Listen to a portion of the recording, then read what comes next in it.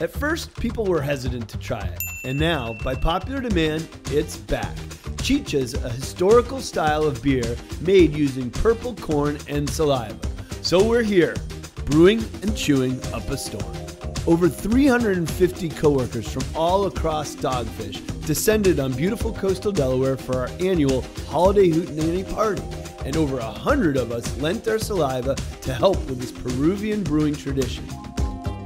From there, we took the masticated maize down to our R&D brewhouse and got to work brewing. The enzymes in saliva help break down the starches into more accessible fermentable sugars. This process is 100% sanitary thanks to the sterilizing boil that occurs post corn chewing. Look for Chicha as a super limited bottle release in our tasting room here in Milton, Delaware on March 10th at 11 a.m. Cheers.